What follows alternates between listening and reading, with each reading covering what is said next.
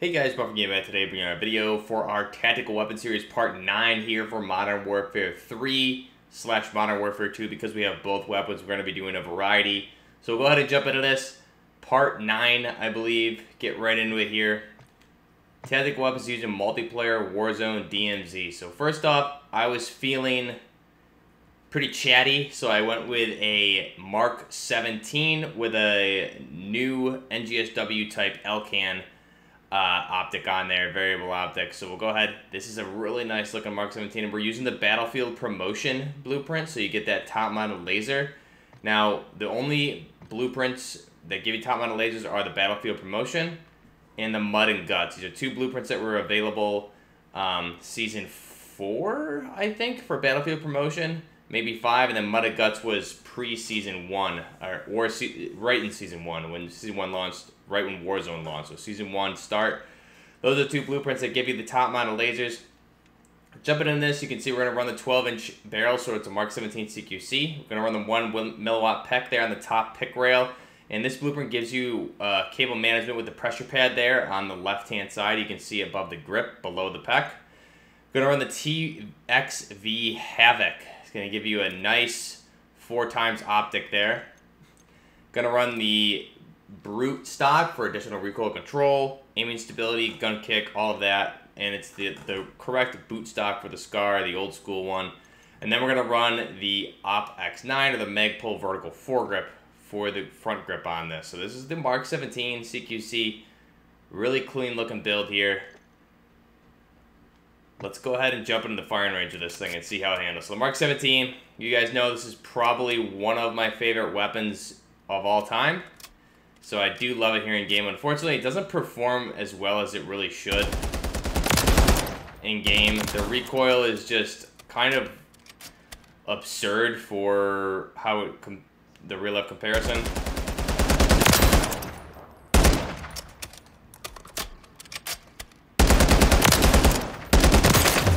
But again, nonetheless, pretty good. You can definitely build better builds with this. For sure. I do like it a lot. You can still see the, the 1 milliwatt PEQ there.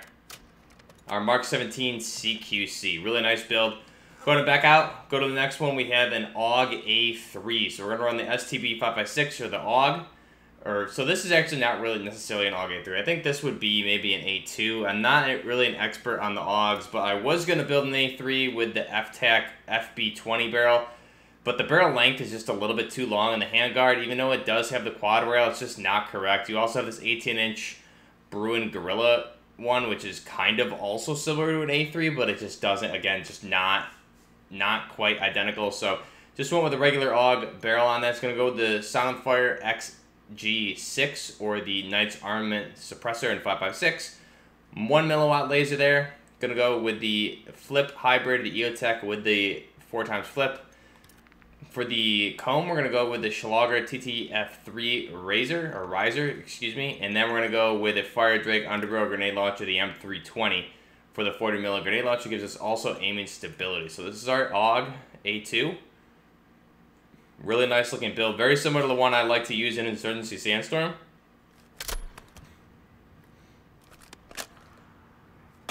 Wow, unfortunately it is bugged. Whatever's up with this weapon, you can see it's uh, see-through, so that's not... That's, that's an interesting bug I think we just found.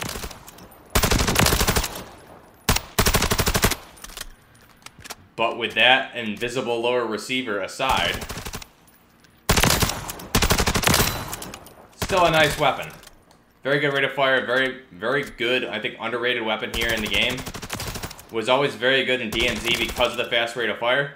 Unfortunately, whatever we did here gave us an invisible lower receiver, so that's not ideal, but um, it kind of looks interesting. So that's the AUG, just ignore the invisible lower receiver there. Next up, we're going to go for the G36K. So the K, or Kurz for short, this is going to give us the, we're going to start with the Bruin 80 Light. This is going to give us that K barrel with the quad pick rails on it. Gonna go with the Knights Armament Company 556 suppressor, Bruin, uh, Bruen angled grip, standard mag for the transparent 30 round mag. We're gonna go with the F43 stock for a better ergo.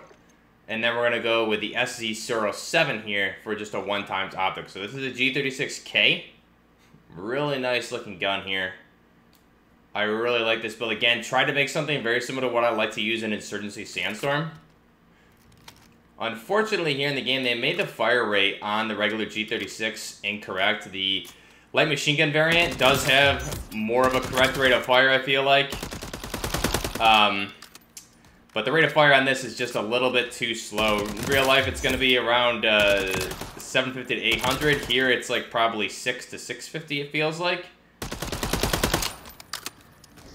And I am assuming they did that for balance purposes, but it's still just really... Uh, when this weapon came out for Season 1, it just was like very underrated or underpowered because of the slow rate of fire and damage output.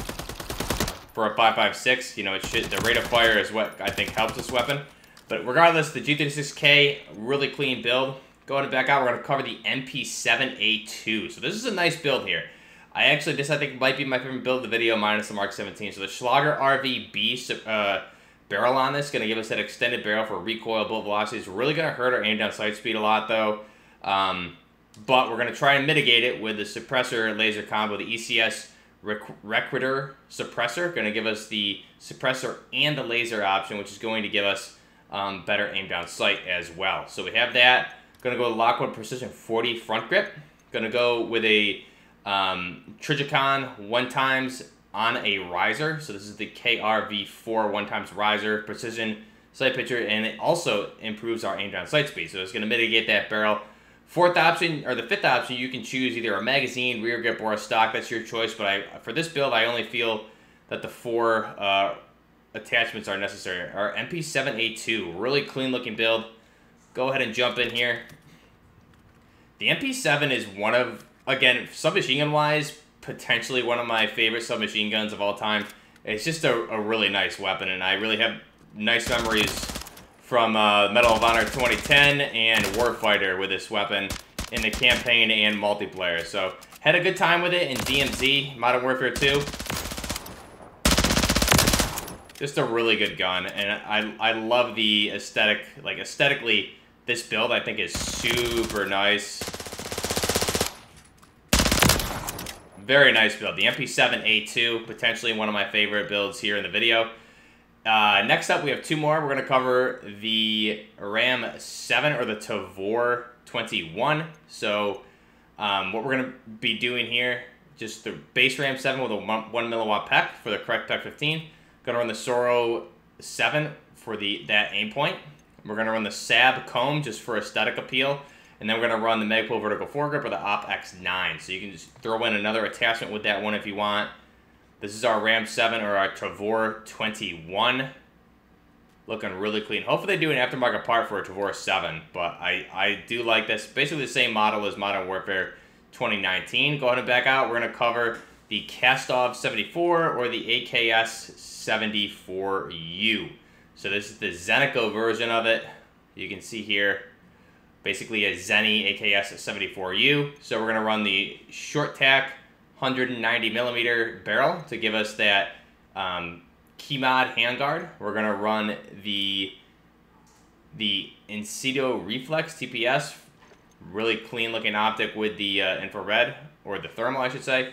Gonna run that PT, I think it's the PT1 buttstock from Zeniko there, the Makarov R7. 45 round mag of the 545 by 39 millimeter, and the Bruin tilt grip to try and replicate something like an RK0 from Zeniko. So that's our Zeniko AKS74U. Let's go ahead and jump into the gun range or the firing range with these builds. Start out with the Ram 7 or the Tavor 21. Nice looking build here.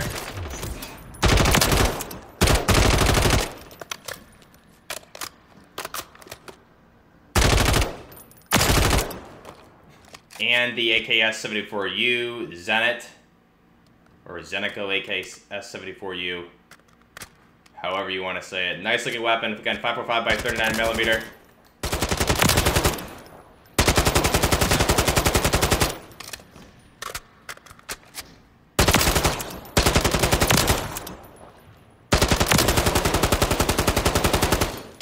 Really nice looking option there. Love that Zenico version of it. Let me know your thoughts down below what your favorite build is from this video.